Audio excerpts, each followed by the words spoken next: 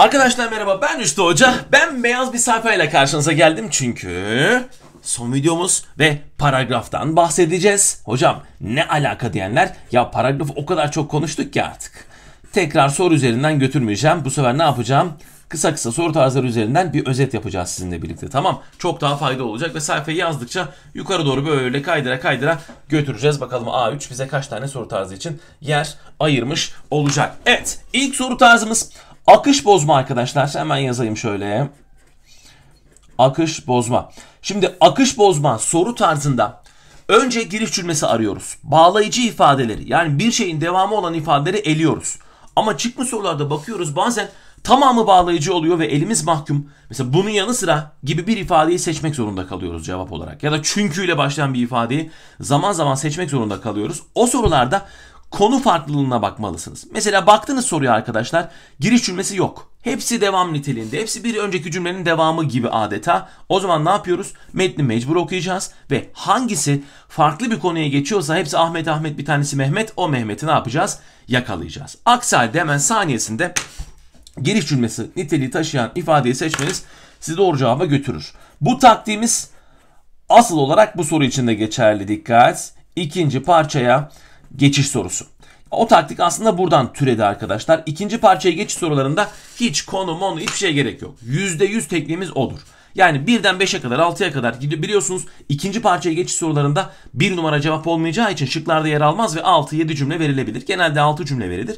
Hemen seri bir şekilde cümlelerin girişlerine bakıp hangisi giriş cümlesi olmaya en adaysa o kesinlikle ikinci parçaya geçişte saniyesinde çözdürür.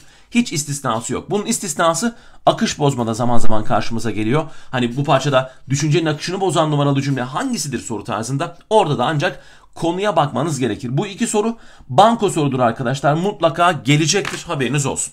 Bunun dışında ana düşünce sorularımız var. Her sınavda 3-4 soru gelir arkadaşlar illaki ana düşünce sorularından kastımız vurgulanmak istenen nedir? Değil mi? Bu parçada asıl anlatılmak istenen nedir? Yazar neyin üzerinde durmaktadır? Ya da yazar hangi görüşü aşılamak istemektedir falan filan gibi değişik şekillerde karşımıza gelebilir bu soru tarzı. Bu soru tarzında da mümkün olduğu kadar bakın metne göz atın tabii ki. Hani hiç okumaktan bahsetmiyoruz. Metne genel olarak bir göz atın ama son kısımlara odaklanmanız gerektiğini lütfen unutmayın arkadaşlar. Ana düşünce, ana fikir yani verilmek istenen mesajı ilk cümlede veremez. İlk cümlede cümlede konuyu verirsin, açıklarsın. Son cümle en flaştır. Bu hep böyledir. Hayatın her yerinde böyledir. Yani bir konuşma yapacaksan dahi en flaşları sona saklarsın. Bu her alanda böyle. Doğal olarak ana düşünce sorularında da mantık aynı. Metne şöyle bir göz attın, göz ucuyla gezdirdin kaleminle. Son kısımlara, son birkaç cümleye odaklanıp oradan cevaba yürümeniz çok daha doğru olur. Ve daha da önemlisi şıkları okudun. Hocam sen son cümle dedin ama yok ben dayanamadım. Yani bütün metni okudum ama Ceyhan'la Denizli arasında kaldım. Şimdi Ceyhan'la Denizli arasında kaldığın zaman ya da Adana, Bursa falan fistan şıklara takılmayın. İki şık arasında kaldığınız zaman hangisi daha genelse ana düşünce sorularından bahsediyorum. Hangisi daha genel, hangisi daha kapsayıcı ise lütfen onu cevap yapın tamam. Çünkü mesaj vermek istediğimiz zaman daha genele hitap etmek isteriz değil mi? Daha bir mesaj kullanılmaz genellikle sınavlarda. Doğal olarak sizden ricam arkadaşlar iki şık arasında kaldığınız zaman hangisi daha genele ifade ediyorsa gönderme yapıyorsa onu seçmenizde fayda var. Bunun dışında çok paragrafa girmekle birlikte, girmemekle birlikte daha doğrusu anlamca yakın cümleler. Anlamca yakın cümleler. Ben ne var ne yok burada toplayacağım ama bu biraz daha cümlede anlamada giriyor haberiniz olsun. Orada soru tarzını konuşmadığımız için buraya onu katmak istedim. Anlamca yakın cümle. Yani bize bir cümle verir ve bu cümleyle anlamca yakın cümle. Bu tarz iki cümleyi eşleştirme, hangisi anlamca özdeştir, anlamca aynı doğrultudadır gibi sorularda Cümle zaten verilen. Tabii ki cümleyi okuyacağız ama mümkün mertebe verilen cümleyi arkadaşlar böyle bir iki sözcükle özetlemeniz büyük fayda sağlar. Bize bir cümle verildi. O cümleyi okuduk. Bir cümleyle daha doğrusu bir sözcükle iki sözcükle özetledim ve bu özeti bulabileceğim seçeneğe bakıyorum. Tamam. Yani cümleyi rastgele böyle karambole okuyup da şıklar arasında ilişki kurmaya çalışmayın. Yani kısacası cümleyi Şıkları okurken anlamaya çalışmayın. İlk başta anlayıp olayı bitirmiş olalım. Hemen bir iki satır şeyle sözcükle özetleyelim. Sonra o özete en yakın ifade bizim doğru cevabımız olsun. Anlatım ilkeleri var arkadaşlar biliyorsunuz. Yani anlatım ilkeleri derken soru tarzı olarak yazayım. Yani hadi neyse başlık olarak alalım. Başlık olarak alalım. En azından daha hatırlatıcı olsun. Paragrafta anlatım. Nedir o? Sorusu şudur arkadaşlar. Parçanın anlatımı ile ilgili olarak hangisi söylenemez? Tamam soru tarzı bu. Paragrafta anlatım. Hani anlatım ilkelerinin, anlatım biçimlerinin, düşünceyi geliştirme yollarının yer aldığı, hani farklı cümle türlerine yer verilmiştir tarzında seçeneklerin yer aldığı bir soru tarzı değil mi? Aman dikkat. Söylenemez sorusu birazdan konuşacağız. Olumsuz soru tarzlarındandır. Doğal olarak önce seçeneklere bakmak daha mantıklıdır. İşte ikilemeye yer verilmiştir, karşılaştırma yapılmıştır, örneklemelerden yararlanılmıştır falan filan gibi sayıp dökmelerden. Bu tarz ifadeleri görüp metne geçmeniz en azından ha bu karşılaştırmaymış deyip seçeneği elemeniz için büyük fayda sağlar. Yani metni öyle rastgele bir okuyup öyle bir bakayım hocam falan deyip bakıp sonra şıklara gelip ha ikilemeyi soruyormuş deyip tekrar ikileme aramak tamamen yanlış arkadaşlar. Baştan sona yanlış. Hiçbir gerekçesi yok bunun tamam. Öğrenci metni okuyor mesela rastgele konuşuyorum genel olarak konuşuyorum. Öğrenci metni okuyor. Sonra şıklara geliyor. Ha bunu soruyormuş. Bursa'ya bakıyor.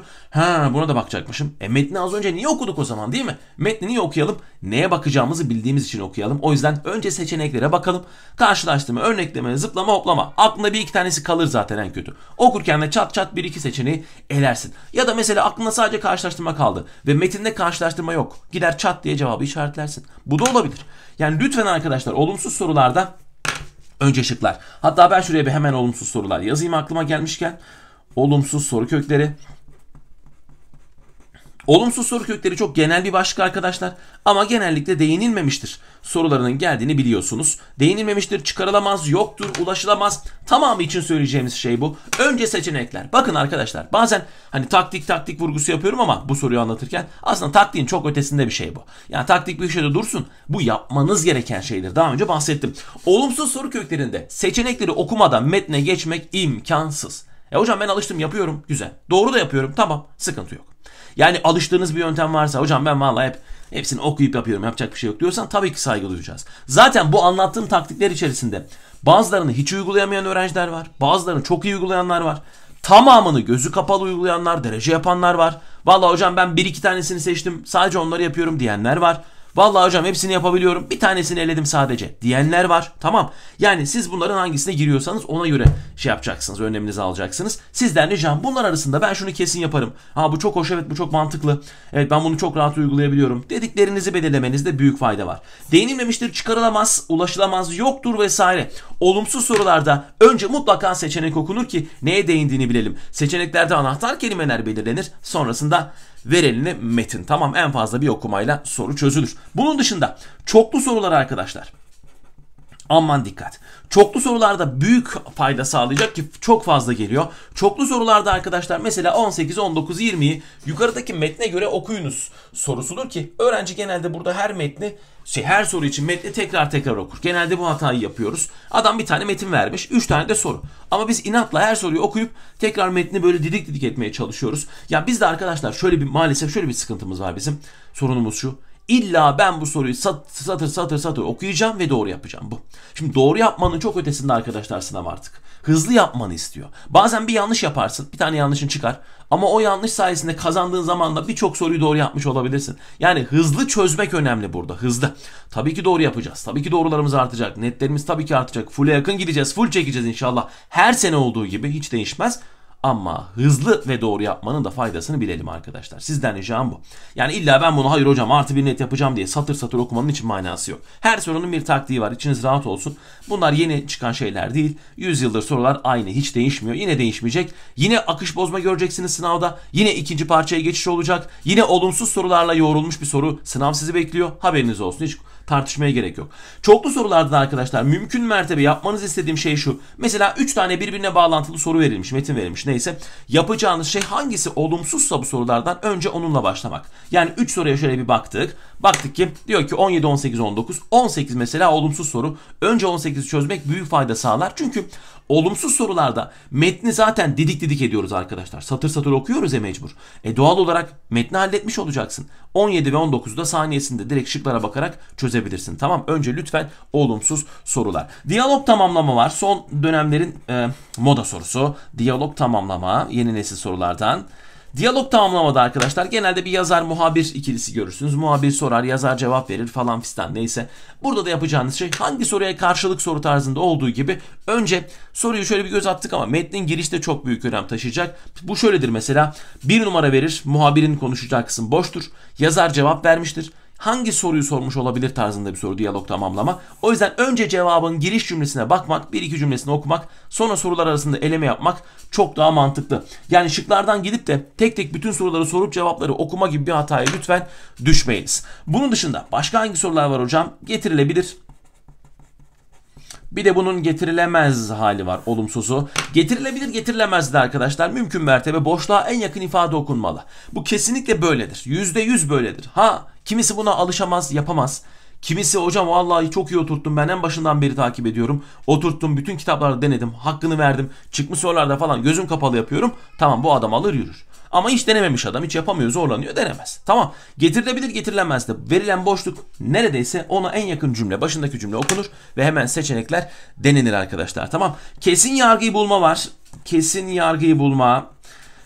Kesin yargıyı bulma sorusu da arkadaşlar cümlede anlam soru tarzıdır aslında. Tamam onu açık açık söyleyelim. Cümlede anlamda mümkün mertebe sorulacaktır. Gelecektir bir şekilde ama genelde böyle 3-5 yıl vererek soruyorlar. Yani bu sene gelmeye de bilir mümkün mertebe. Bakalım göreceğiz sınavda anlayacağız. Zaten gelecek kısımların çoğunluğunu şurada konuştuk ama birkaç şey daha var. Kesin yargıyı bulmada bize bir cümle verilir. Bu cümleden çıkarılabilecek kesin yargı hangisidir denir. Daha çok ALES, DGS ve KPSS soru tarzıdır haberiniz olsun. TYT'de böyle 3-5 yıl atlayarak gelir genelde. Neyse bize bir cümle verildi ve eyvallah bundan çıkacak kesin ifade aranıyor. Cümleyi okuduktan sonra arkadaşlar seçeneklere geçiyoruz. A, B, C, D, E. Yorum içeren bütün ifadeleri eliyoruz. İçinde yorum geçmemeli. İşte Rüştü Hoca ile 2 saat ders yaptık. Tamam cümle bu. A. Ders oldukça eğlenceli geçti. Bilemeyiz ki nereden biliyoruz. B. Ders oldukça uzun sürdü. Yani uzunluk kime göre uzun 2 saat değil mi? C. Ders çok sıkıcıydı. Kime göre değil mi? Bunların hepsi yorumdur. Ama işte 60 dakika ders yaptık. Evet 2 saat işte 120 dakika neyse. 2 saat 120 dakika tamamdır. Yani nesnel bir seçenek arayacağız kesin yargıyı bulmada. Ve bize verilen cümlede en, daha, ise, kadar gibi ifadeler varsa onlara da dikkat edeceğiz. Onlar da bizi cevaba götürecektir arkadaşlar. Ulaşılabilir çıkarılabilir. Haydi dikkat. Ulaşılabilir çıkarılabilir, söylenebilir sorularında da arkadaşlar sizden ricam olumsuz soru gibi. Önce seçenekleri okuyup sonra metinde o seçeneklerden birini bulursanız saniyesinde cevaba gidersiniz. Tamam Bunda da lütfen önce seçenek okuyunuz. Sıralama soruları. Sıralama sorusu da genelde ALES, DGS ve KPSS sorusudur. TYT'de de nadiren gelir. Hani baştan 3. 4. ki inşallah gelmez. Hep sıkıntılı bir soru tarzıdır bu. Burada yapacağınız şey önce giriş cümlesini bulmak. Giriş cümlesini bulduktan sonra o cümleyi okuyup sonu nasıl bitiyorsa benzer bir başlangıçla diğer cümle cümleyi devam ettirmek. Tamam. Nasıl bittiyse hemen devamında aynı ifadeleri aramak. Böyle bir sıralama yapacağız. Birden 5'e kadar mecburen sıralayacağız. Ha, ikinciyi soruyorsa giriş cümlesini bulurum. Nasıl bitiyorsa benzer başlangıç bulur cevabı yapıştırırım. 3'ü buluyorsa 2'yi bulduktan sonra cevabı işaretler geçerim. İlla sonuna kadar sıralamak zorunda tabii ki değiliz. Bunun dışında ne var arkadaşlar? Yakındığı durum nedir mesela? Yazarın yakındığı durum nedir soruları var. Yakındığı durum sorularında ilk cümle fazlasıyla yeterli olur. Ya da mesela Hemen şuraya yazayım onu. Bir soru tarzı çeşitliliği olsun diye uğraşıyorum şu an. Konusu nedir diye de sorabilir arkadaşlar. Bu iki soru da aynı kapıya çıkar. Konuyu da yakındığı şeyi de ilk birkaç cümlede çok rahat duyabilirsiniz yazarın. Tamam. Orada söyler sonrasında yavaş yavaş açmaya başlar. Bunun dışında söyledik konuştuk diyalog tamamlamada ama yine de bir dedim ya burada bir çeşitlilik olsun. Hepsini görmüş olun. Hangi soruya karşılık? Ha bu arada arkadaşlar... E, paragraf soru avı kitabımı bitirmenize fayda var. Paragraf soru avı hani cep kitabı gibi olan var ya küçük. 101 sorudan oluşan. Onu kesinlikle bitirin. Yani 2-3 gün içerisinde elinizde olur. Sınava kadar da çok rahat. En az 10 kere çözerseniz 101 soruyu. Yani sonuçta günde 30 soru falan çözseniz 30-40 soru. 3-4 günlük bir kitap. Doğal olarak mutlaka bitirin. Orada hepsinin ayrıntılı anlatımları ve bütün soru tarzları var. Kesinlikle paragraf soru avı bitmeli. Hangi soruya karşılık eyvallah o da cebimizde yine metnin giriş kısmı ve sonrasında seçenekleri denemek çok daha mantıklı olabilir. Bunun dışında da arkadaşlar tabii ki sürpriz sorular olacaktır. Yani orijinal sorular başlığı hangisidir falan gibi ya da bir paragraf içerisinde altı çizili ifadeyi vermek gibi karşımıza onlarca soru tarzı gelebilir. Şimdilik bunlara bir bakmış olduk. Böyle bir özetlemiş olduk. Sizden ricam paragraf kampında o giriş kısımlarına şöyle bir bakmak en azından. Videoları şöyle bir göz atmak. Orada bayağı bir özetledim. Paragraf fulleten tüm taktikler var arkadaşlar. Ona mutlaka bakın. 10 taktik zaten cebinizde onu biliyorsunuz. Onun dışında kesinlikle paragraf soru avını sınav öncesi bitirin arkadaşlar tamam. Paragraf soru avı cep kitabı boyutunda zaten hemen pratik bir iki günde 3-4 günde neyse bitecek bir kitap. Mutlaka onu da bitirin ki bütün soru tarzlarını iyice oturtmuş olun. Peki full tekrar kampına son verdik. Bundan sonra flash videolarla inşallah karşınızda olacağım. Görüşmek üzere.